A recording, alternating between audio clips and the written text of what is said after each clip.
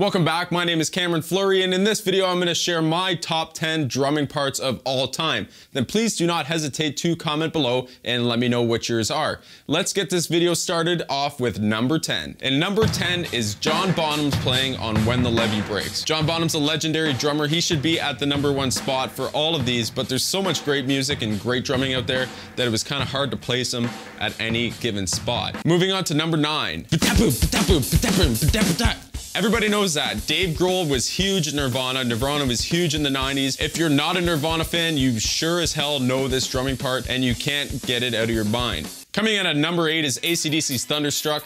Phil Rudd's drumming is very memorable and tasteful for the music. It might be simple, so that's why it's really easy to remember, and this is why Phil Rudd made the top 10 list with Thunderstruck. What would a top 10 most air drumming list be without Metallica's Enter Sandman? At number 7, this is a very memorable and simple pattern for musicians and music listeners alike. Now, I know everybody hates on Lars, and maybe you have seen my trash can lid video. If you haven't, I'll put a card for it up here. There's just something about Dave Grohl's drumming that came from Nirvana and was able able to coexist inside of the Foo Fighters material and he got Taylor Hawkins to play on this song called Everlong and it is really catchy and really easy to follow.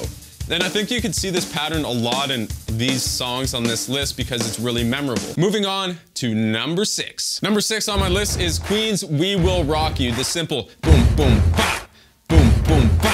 That's, that's a total arena riff version of a drum pattern that you can get the whole crowd going it'll stick with them for a lifetime. It is a very timeless drum pattern, and that's why I made it so high up on my list. When Dime leads on the riffs and then Vinnie Paul comes in on the toms and then plays a basic backbeat on the hats, that's a very, very powerful statement, and the music as a whole is very powerful and memorable.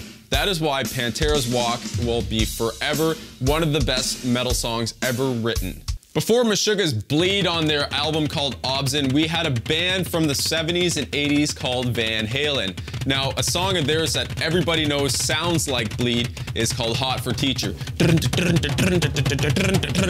It's a very, very awesome pattern. Once again, if you're not a musician or if you're just a music listener and love Van Halen, even if you don't, you know about this song. So I myself am Canadian, so what is a top 10 most air drum songs without having a Neil Peart drum pattern on it. Tom Sawyer by the band Rush is one of the all-time most air drum songs ever. There's just something about Neil Peart's drumming pattern on Tom Sawyer that is inexplainably awesome and memorable. Dun, dun, dun,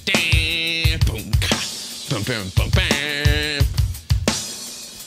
And at the top of the list, we have Phil Collins in the air tonight. And it takes like, whatever, three and a half minutes to get to this drum fill. But from what I read in his book, the only way he came up with this pattern was his, he just basically started the fill on the toms and then went all the way around the drum kit till he didn't have any drums left. Phil Collins' drum pattern is arguably the most air drum song ever.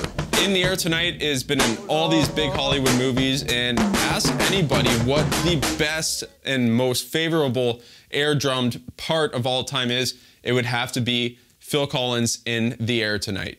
If you want to learn more about drumming and drumming related things, I'm going to put a playlist up here with some drum lessons. And if you already haven't considered doing so, please subscribe to my channel, hit the bell for notifications, and I'll see you in the next video. Thanks so much.